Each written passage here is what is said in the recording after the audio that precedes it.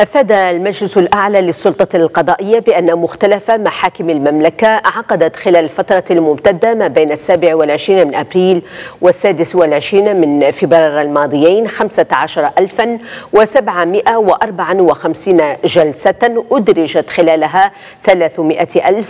وستون قضية واستفاد منها ألاف المعتقلين تمت محاكمتهم عن بعد من دون الحاجة إلى نقلهم إلى مقرات المحاكم